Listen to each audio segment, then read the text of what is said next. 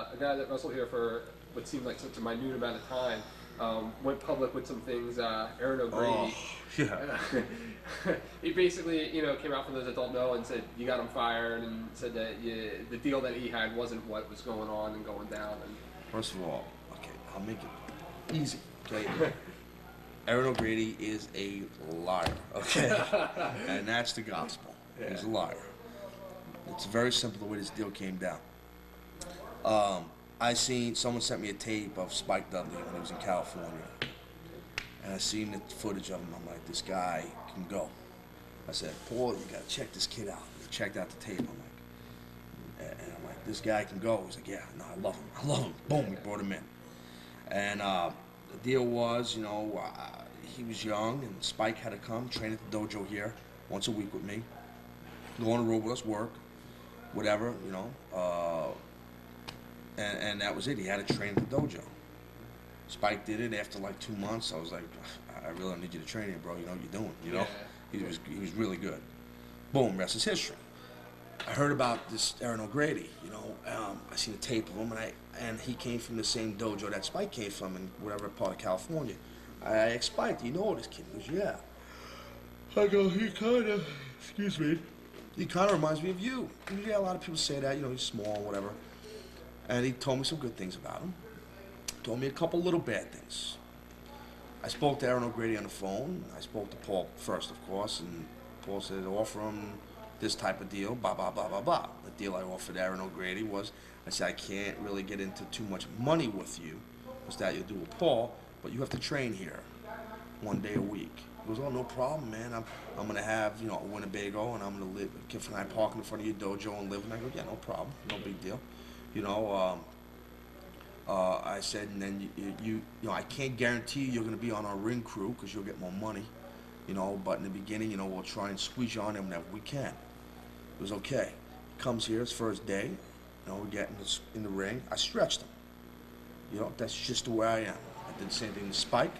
I did as soon as this dojo opened. When me and Perry were in here, from guys from Bubba Ray Dudley to, to, to when D-Von Dudley started, you name them, they got stretched. Period. First day, right in the ring. That's the way we work. He took offense. You know, I mean, he, I could see he wasn't happy with it. I mean, come on, fight back. You know, I didn't beat him up. Yeah. I didn't punch him. I out wrestled him on the mat, kept him on his back, and screamed at him to get off his back. Right. Made him tap out from every angle you can imagine, and that's it. You know, I mean, it's not that I outweighed him or I was bigger than him. It's just, it doesn't matter. That's the way we do things here. Yeah. If you can stretch me, stretch me. I'll tap. There's no shame in tapping while you're training. No big deal. It happens all the time. Right. So he came a couple more times, and then I could see he wasn't happy. And I didn't keep beating him up on the, in the ring, you know. Right. And then he, I'd see him at the gym, and I train at, there's a Gold's Gym near here. Thumbs off. And I trained, thank you. And I trained there, and, and I told him, I said, listen, I can talk to the manager there. I know the guy.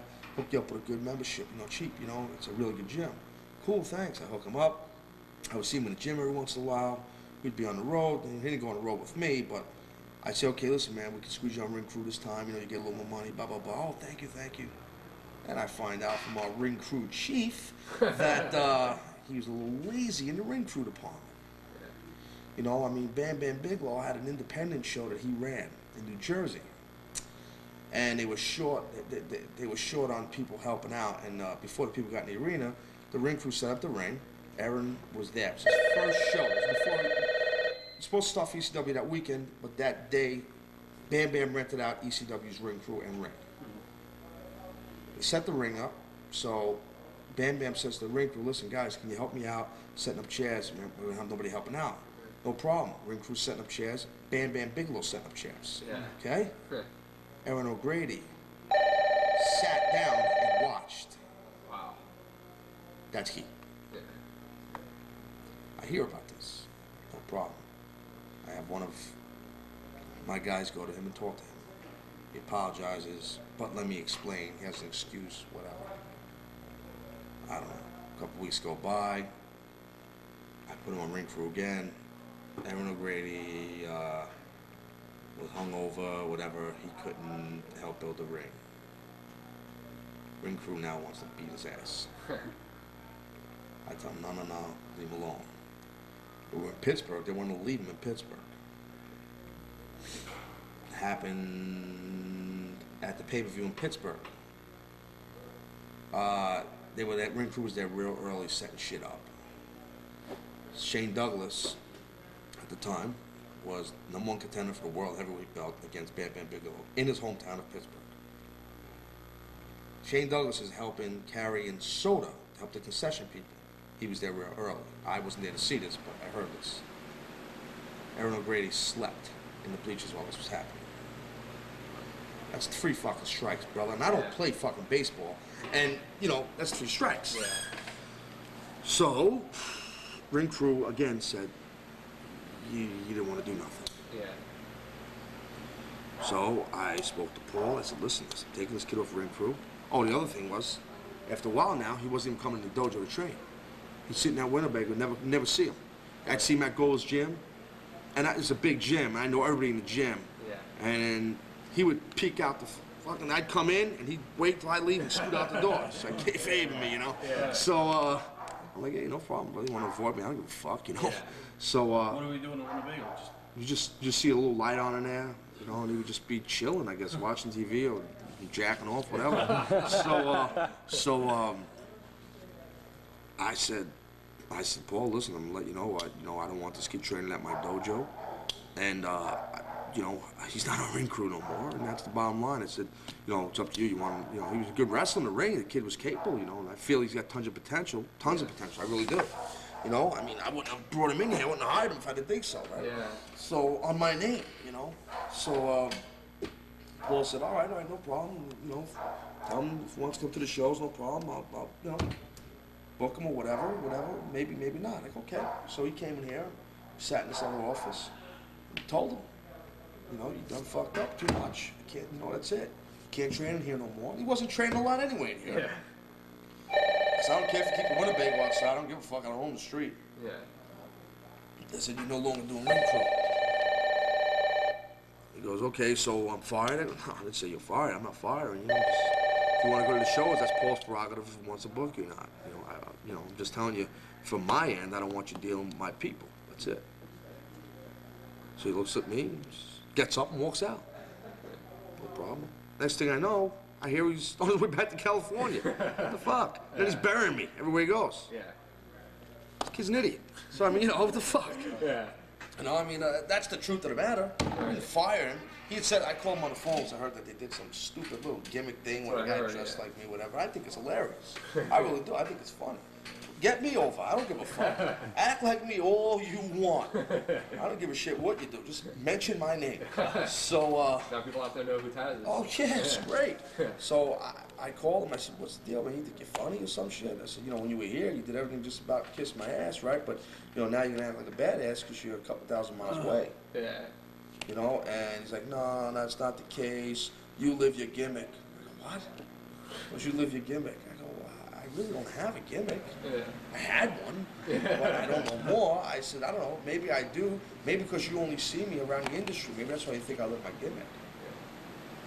no, you know, whatever, uh, you know, I don't care. You know, uh, so you're a big shot because you just stretch me. What are you talking about? First day I was there, you stretched me. Bro, that was like six months ago. Relax. Yeah. Do that to everybody. You know, lighten up, kid. I know you're that sensitive. Yeah. Ooh, excuse me. you know, you know, hang me from a tree, right? You know, like a little puss. So, uh, I'm sorry. You know, you know. I said, listen, you know, don't fuck with me, okay? And that's it. Just don't. Trust me. I don't play this dumb shit. Now you're getting into reality, and that's not good for you, okay? Right. um, don't threaten me. I what? Don't threaten you. so, and then, and then, I don't know, somehow we got on the subject of money, you know, and, oh, because he said to me that I, I got him fired. I was jealous of the push Paul was going to give him. So, I said, yeah, not, no, bullshit. Yeah. You know, what are you talking about? Why would I be jealous? You're, you know, you're an insignificant thing in this company right now. Why would I even care? I got you hired. Why would I be jealous? Right. I have a pretty good, rock solid job. You know, I think you were jealous of what Paul's gonna do for me. I said, bro, let's be honest. You know, I mean, come on. Yeah. You know, I've made more money last year in this company than you're gonna probably make in the next six, seven years combined. Mm-hmm. Right. oh, it's not about money. I go, fuck, it ain't. It's business, ain't it? I mean, I'm not in this, you know, for love, you know?